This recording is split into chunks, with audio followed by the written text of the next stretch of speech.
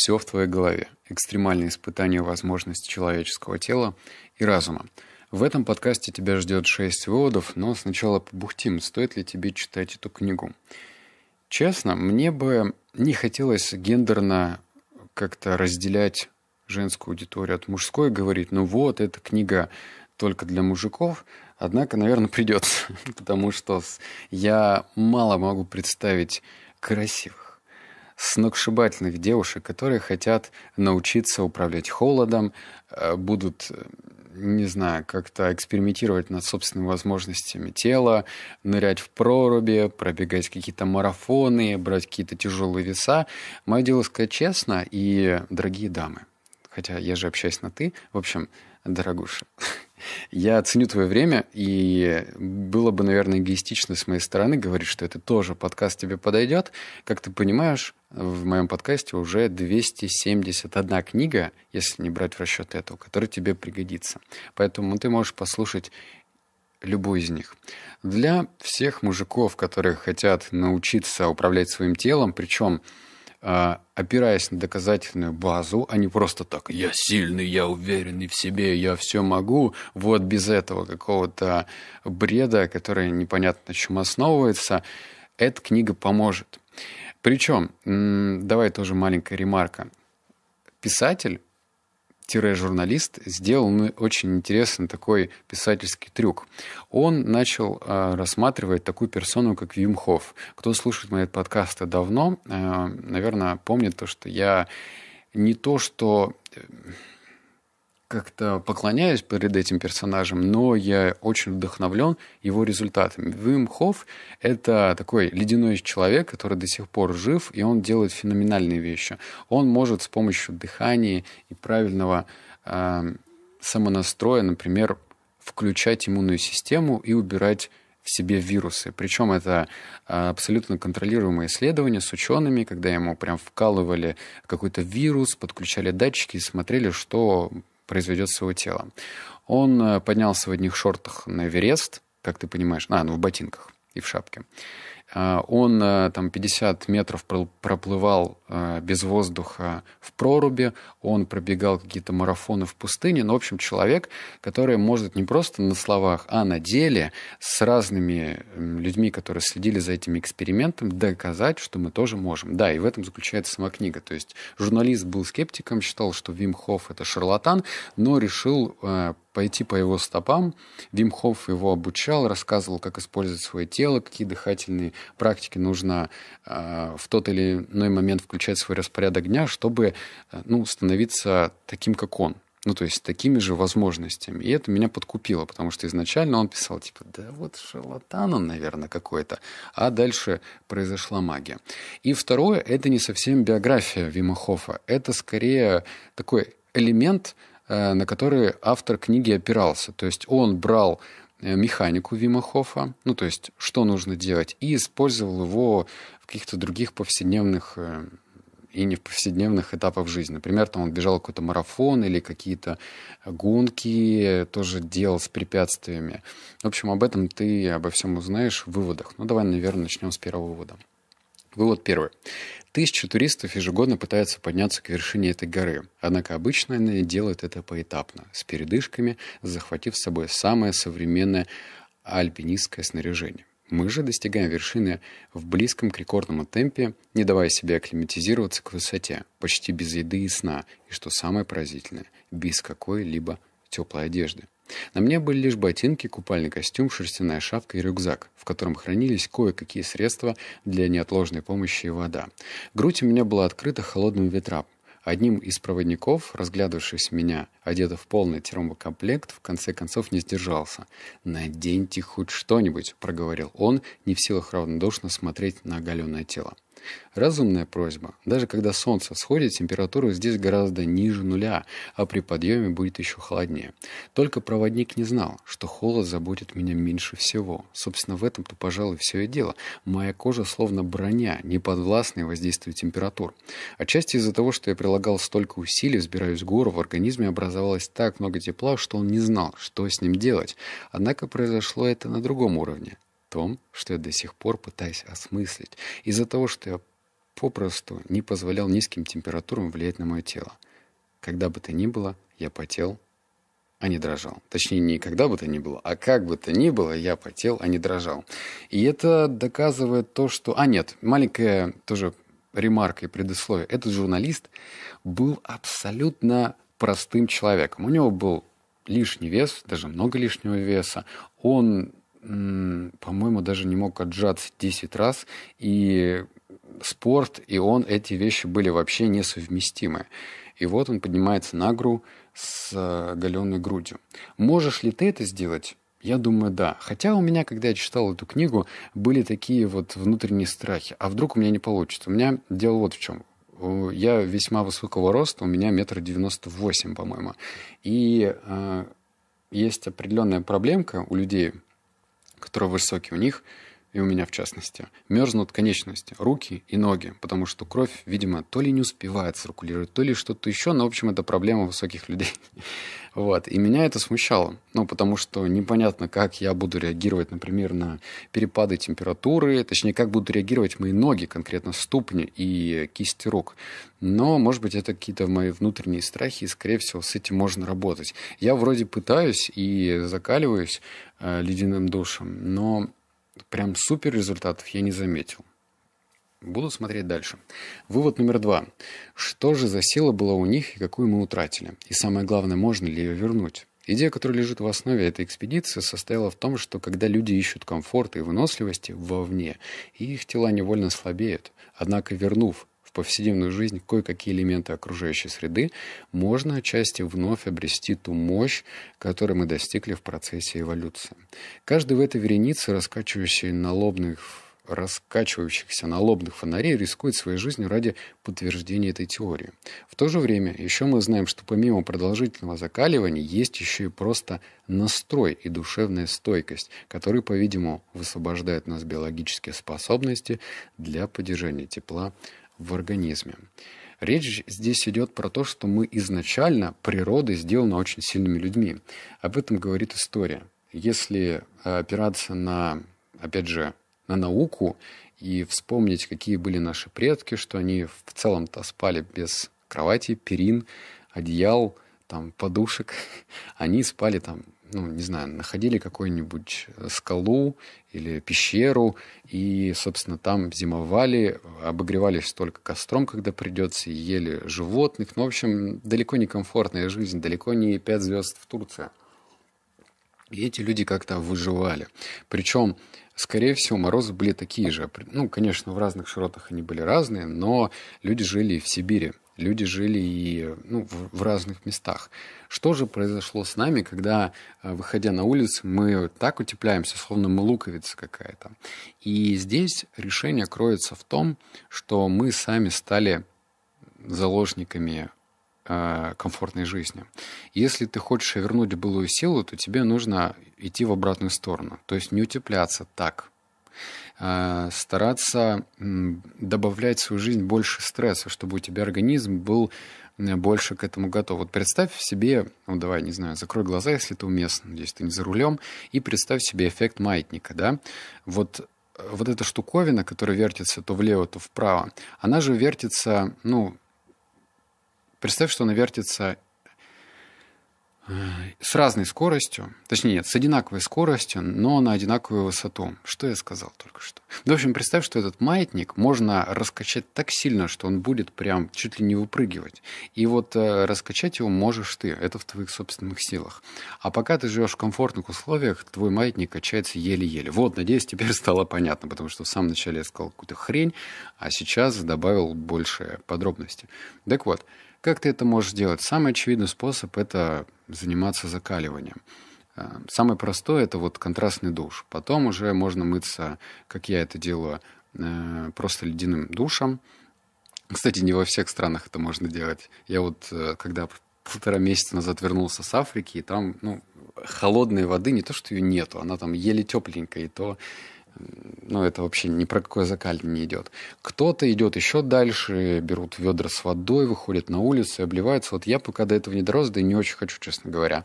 А следующий этап – это просто ходить в более такой не то, что не предназначенные для такой температуры одежды, но все-таки вот у нас сейчас, например, минус 10 градусов, ходить как будто бы там ноль, например. И смотреть, что из этого получится. Но опять же, не надо переусердствовать. Есть, кстати, в книге э, такая ремарка, что некоторые люди, которые фанатично были, придерживались техники Вима Хофа, они заканчивали жизнь трагически, то есть умирали, без присмотра делали. Они там залазили в прорубь и дышали. А, кстати, в проруби дышать по технике Вима не нужно, потому что можно потерять сознание. И, в общем, ну, это как бы репутацию немножко подпортило. Вот номер третий.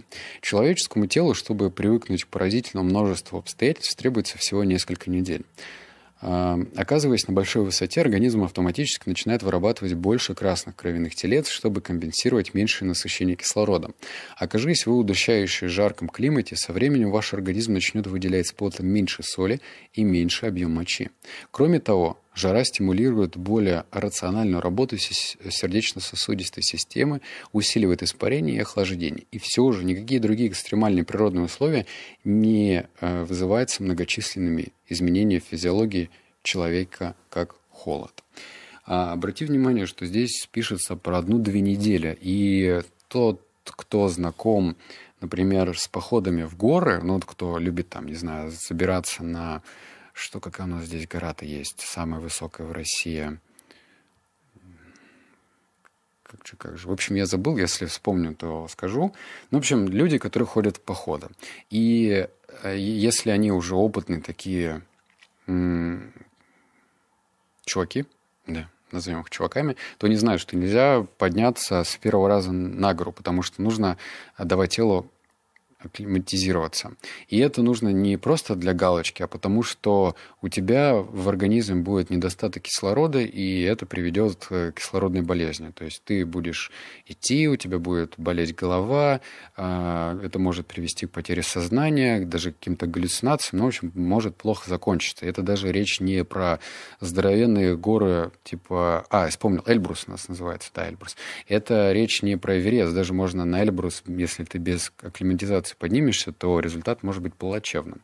И э, если нам достаточно одной для некоторых людей двух недель для того, чтобы акклиматизироваться к высоте и к жаре, как это пишется, то это э, представь, что это такая скрытая сила, которая в тебе есть, а ты просто не пользуешься. И не нужно годами заниматься какой-то практикой. Одна-две недели. Лично меня этот вывод очень даже э, устраивает.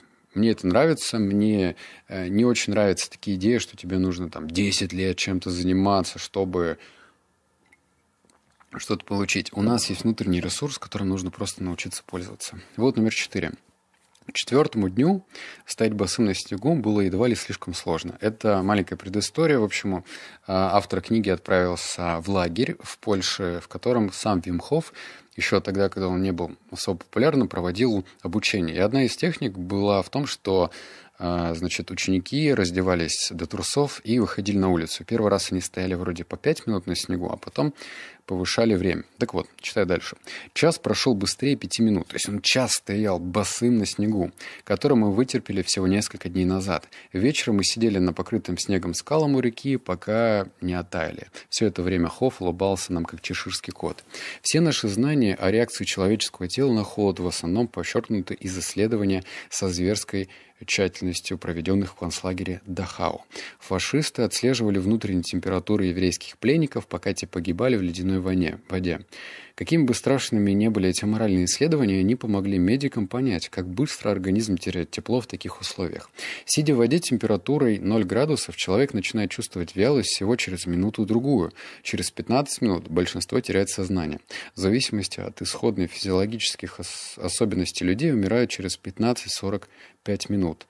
Когда внутренняя температура, внутренняя температура опускается ниже 28 градусов, смерть практически неизбежна. По сравнению с имеющимися данными, Хов, похоже, творит чудеса. И вот тут история, как Вим Хофф э, решил продемонстрировать ученым. Значит, читаю. Типовые больничные устройства, отслеживающие дыхание, уже через две минуты пребывания Хоффа во льду показали, что он умер. Аппарат запутался, потому что Хофф ни разу не вдохнул, а пульс в состоянии покоя составлял не более 35 ударов в минуту. Хофф, однако, не умер. И Камлеру, это кто проводил это исследование, чтобы продолжить эксперимент, пришлось отсоединить датчики. Хофф сидел во льду 72 минуты. Результаты были поразительные. Внутренняя температура у Хоффа сначала снизилась на несколько градусов, а затем вновь повысилась. Это стало первым научным подтверждением метода Хоффа. И, кстати, а, если можно это свести вывод к тому, что, ну вот, возможно, это какой-то уникальный человек с уникальными способностями, то нет. Его Э, ученики делали ровно то же самое. То есть они практиковали его систему и точно так же проводили такие исследования с холодом над собой. Вот номер пять. Если вам приходится... Остан... А, кстати, следующий, пятый, шестой вывод больше про физическую нагрузку и про выносливость. Если вам приходится останавливаться, чтобы перевести дыхание, значит, вы, скорее всего, неправильно начали гонку, говорит он. И если бы вы с самого начала дышали так, словно вы уже работаете с максимальной нагрузкой, потом вам бы не пришлось прикладывать столько усилий. Он велел мне рассматривать это так. У организма есть встроенная программа, которая непроизвольно оценивает и регулирует, реагирует на условия, в которых он функционирует. Но у этой программы нет никакой возможности определить, какой запас кислорода потребуется организму в дальнейшем. Она реагирует на текущую нагрузку, когда организм внезапно испытывает всплеск серьезной физической нагрузки. Ему приходится наверстывать. Если во время тренировки, вот внимание, вы не просчитываете темп дыхания – кислорода запросто может и не хватить. Решение заключается в том, чтобы начать интенсивно дышать задолго до того, как необходимость в этом действительно возникает. Очевидно, что наибольшее применение эта техника находит в беге.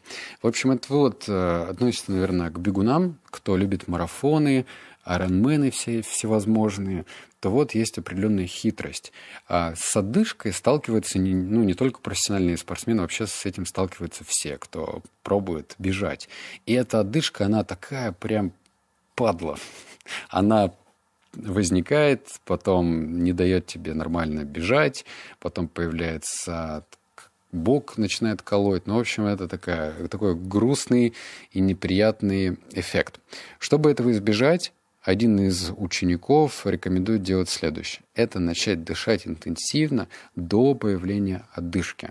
Что я могу посоветовать? Просто попробовать. Если ты бегаешь или даже занимаешься лыжами, это тоже к лыжникам относится, то просто попробуй интенсивно подышать до этапа отдышки. Вот номер шесть. Это про силу. Э, напряженно выпитив губы и прищурив глаза, он глубоко втянул воздух носом.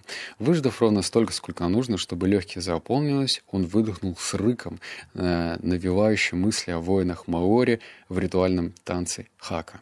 Он вдыхал каждую секунду, и казалось, что он трудится в поте лица. Он покраснел от усилий, но по его невозмутимому взгляду было ясно, что мысли его сосредоточены только на работе легких.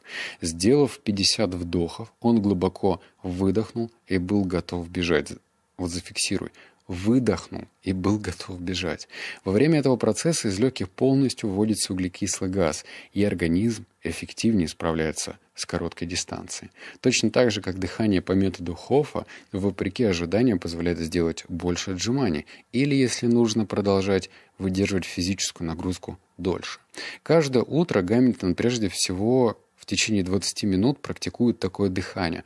Он утверждает, что это помогает ему приготовиться к ежедневным делам и очищает сознание для предстоящих ему задач.